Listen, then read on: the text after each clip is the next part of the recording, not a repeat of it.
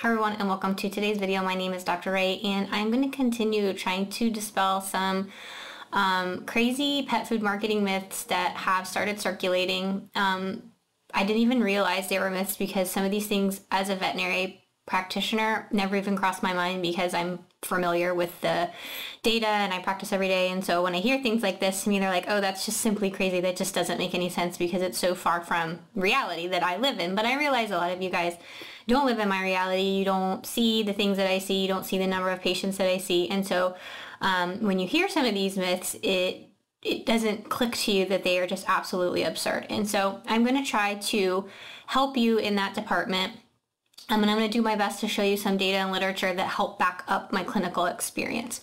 Um, I just recently did a video of someone that was being scared that green tea in cat food was causing hyperthyroidism, and you can check that video out, and that is completely false and makes no biological um, or pathophysiology sense whatsoever. And so if you are concerned about that, you can check out that video. But today we're going to be talking about this is going to be really short and really brief, but we're going to be talking about um, the current marketing ploy to push people to feeding fresh food or raw food um, because dogs are living shorter. so kibble, since the invention of kibble, dogs' lives are are, are shorter. Um, and so I'm going to preface this with saying I really don't care what form of food that you feed your pet, honestly. Um, if you have a strong inclination or a strong urge in your heart to feed a freshly or gently cooked or baked or whatever you want to call it diet, it really doesn't matter to me as long as it's balanced. That that really is my only benefit. I'm not a fan of raw because of some of the um, contamination issues, and we're constantly seeing recalls on um, raw diets, and there's a public health risk. But if you're doing that um, in the context of you know care with your veterinarian, you have that relationship, and you know an illness occurs, and you guys deal with it that's fine. I really don't care about the formulation. Balanced, a balanced diet is the most important to me. So we're just going to preface this, preface with that.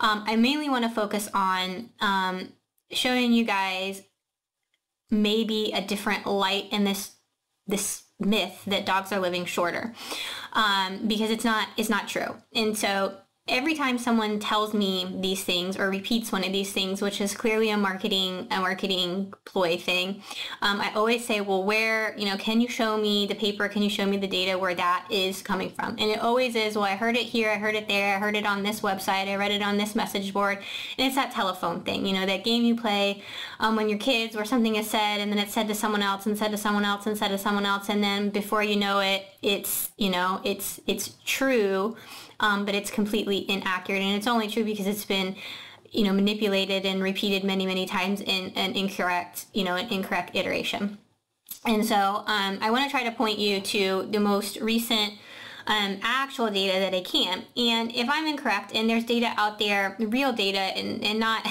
some some people say, well, the AKC website or something like that. That's not a real. That's not real data. Not a real study. Okay, we're talking about actual um, clinical data. Um, I'm going to try to show you something that is up to date, and this is up to date as of January 31st, 2024. Um, and so this is pretty up to date because it's only February 24th, um, 2025, so within a year here. Um, the data of how long um, dogs are actually living and is it is it shrinking. And so I'm going to pop up here on the screen this publication from um, the American Veterinary Medical Association, and the title of the article is "How Can We Achieve More Accurate Reporting of Average Dog Lifespan?" Um, and that's that's important too because we we recently just had this crazy um, Guinness Book of World Records dog lived to like 31 years old, and then it was completely found to be false because they're reporting um, self-reporting and all that, and and you know that is part of the fallacy. I have people all the time um, that come into my clinic and the, and the, conversation will start out one way and oh my gosh, yeah, my dog is so old. I'm doing so good. My dog is 82 years old. Can you believe it, doc? And I'm like, uh, I don't know if I believe your dog's 82 years old, but if your dog's 82 years old, then we probably should be doing some blood work because that's when things start going wrong.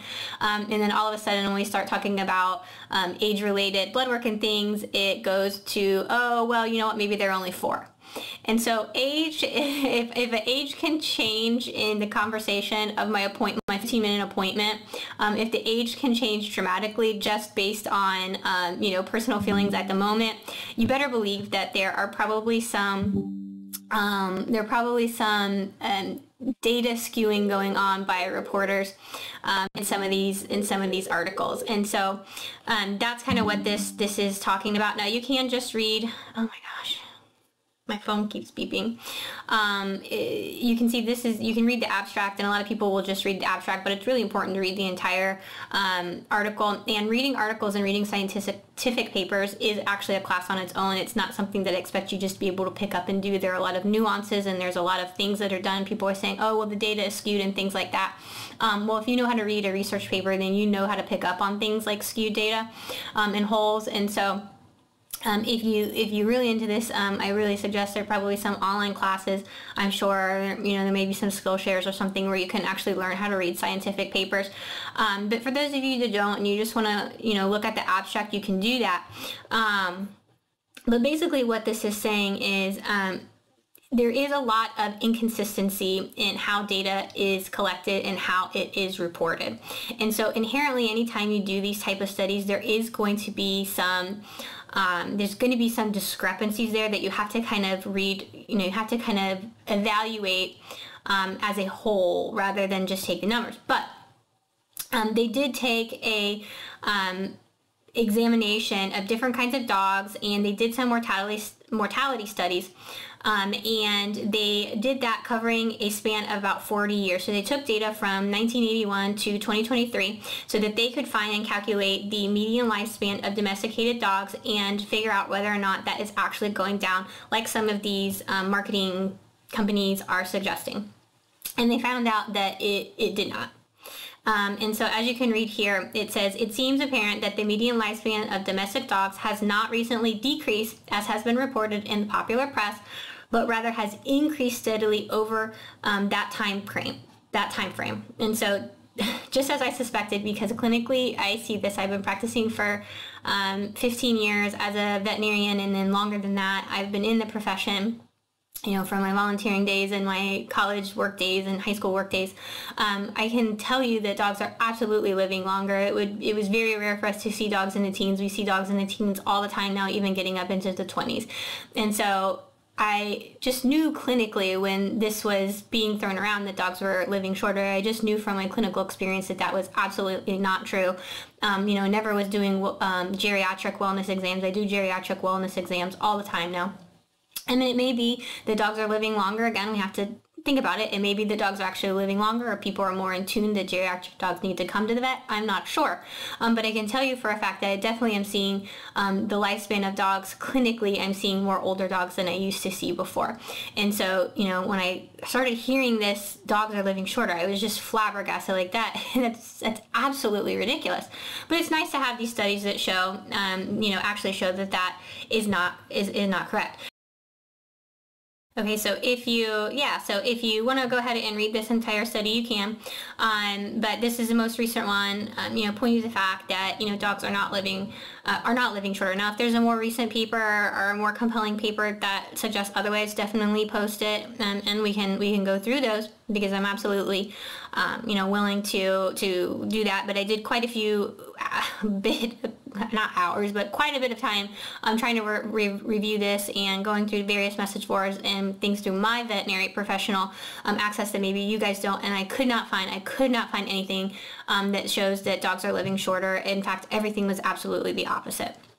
So, um, you know, so that's that. Now, the second part of the question that I got is, um, and I think this is interesting because they absolutely um, they, they absolutely go hand in hand is um, dogs these days are getting more cancer um, and then of course you know because this is about pet food and these are pet food marketing companies that are putting this information out um, of course, they're getting more cancer because um, of, kib- of kibble. So they're they're living shorter lives, and um, and then on top of that, and they're living shorter lives because they're getting um, cancer from the pet foods.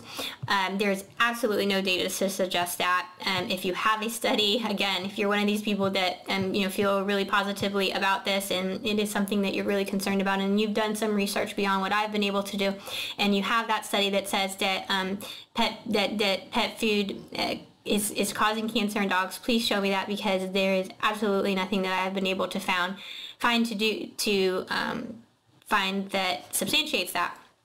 Um, but what I can tell you is because animals, as we have just established, are living longer, um, they are getting more cancers. And that absolutely is true. The other thing is we are able to detect cancer um, a lot more efficiently than we were 40 years ago, for sure. Um, the updates in cancer research and veterinary medicine have exponentially increased um, all the way down to the fact that as veterinarians now we can and this is pretty amazing you can have a lump on your dog. I can do a fine needle aspirate in my clinic. Um, i can use a special microscope that digitally sends pictures to a pathologist and they can tell me right there um, if that is a tumor that is cancer or not. And so the advances the more you test and the more accurate testing you have yes the instances are going to go up. Um, and that's just the reality of the situation it does not mean that there are more dogs that get cancer now. It just means that there are more dogs that we are able to test and more dogs that we are able to actually find it rather than saying, oh, my dog died and we have no idea why they died. Um, because we know, you know, we know now a lot of times why that is. Um, and so I don't think that I don't disagree that we are seeing more cancer in dogs. I think that we are seeing more cancer in dogs because we are better at um, a, more people are bringing their dogs into the vet than they did 40 years ago. Um, they're paying more attention to their dog than they did 40 years ago. 40 years ago, you know, most of dogs, you know, were outside dogs, and if they died in the backyard at night, nobody, you know, sadly enough, you know, people may not have even noticed or cared and you know they buried the dog and that was it. They didn't take the dog to the vet for multiple checkups and certainly they weren't um, you know making sure that um, there weren't any lumps or bumps or having those biopsied. And so um, it's very important to look at things with reason um, and actually challenge in a respectful way maybe some of these um, things that just seem to be crazy. That's how I feel about it. When I look at these things, I'm like, well, that's just absolutely, that's just absolutely contrary to everything that I'm physically seeing um, in my daily practice. So I just wanted to dispel those two myths because I think they're very detrimental and I don't like the fear mongering um, and scare tactics that are being used to try to um, almost force people into an opinion um, and then not and then not back that up with any information. So I just wanted to give you, I'm going to post um, two articles here that you guys can read, um, you know, and just have that information as you're forming your conclusions. Again, I'm not a proponent to anything. You know, I think if a, di- a diet is balanced, I'm happy with it. I just don't want you to feel forced into one way or the other um, and be extremely confused because um, I could see why it could be confusing because it is, it doesn't, it doesn't make sense. So. I just wanted to hop on here and give you guys some fresh perspective and um, let me know your thoughts. Bye.